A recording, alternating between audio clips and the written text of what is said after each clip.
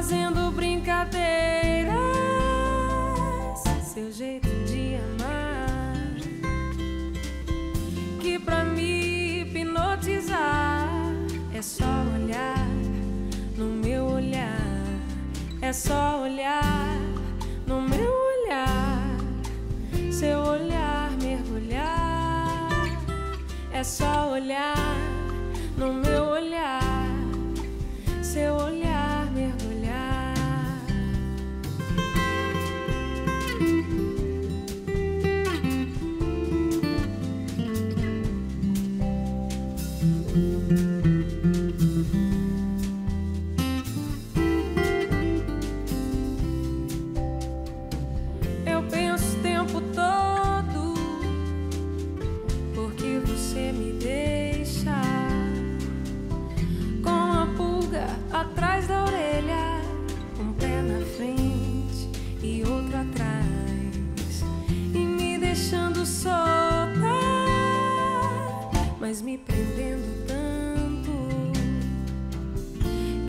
me hipnotizar é só olhar no meu olhar, é só olhar no meu olhar, seu olhar mergulhar.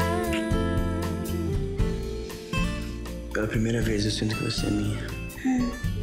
E você também é meu. Todinho. Só olhar no meu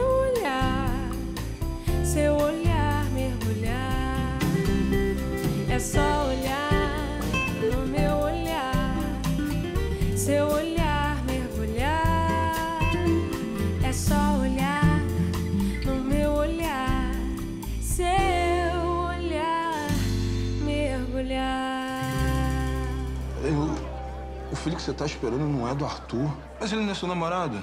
É, é sim. Mas quando a gente começou a namorar, eu já tava grávida e ele sabia. E vocês mentiram pra mim, pros pais dele. Loucura, Júlia. Calma, Antônio. Parece que esse rapaz que engravidou a Júlia, ele. ele não. não tá querendo assumir a responsabilidade. Ah, mas ele vai ter que assumir. Quem é o cara, gente? Desculpa, pai, mas eu não tô pronta ainda pra te contar isso. A Júlia. Chega de segredos, menina, chega. Se abre com seu pai. Eu vou contar, eu juro. Mas primeiro eu preciso conversar com ele, tá bom?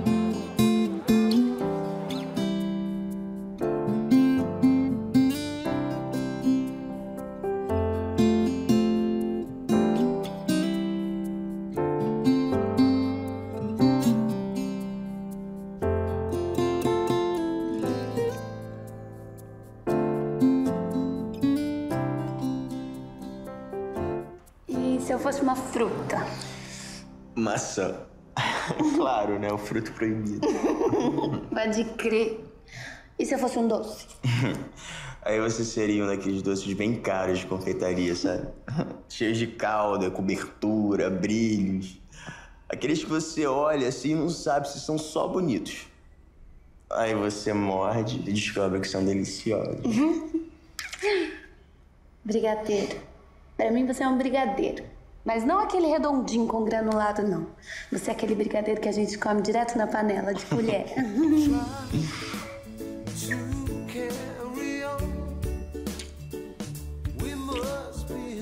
Sabe, Pedro? Hoje foi a coisa mais importante que eu tive na vida. Foi amor. Foi.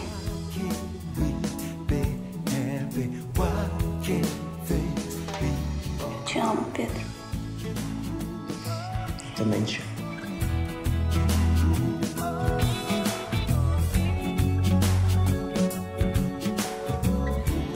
Você ficou mexida, não é, Cláudia?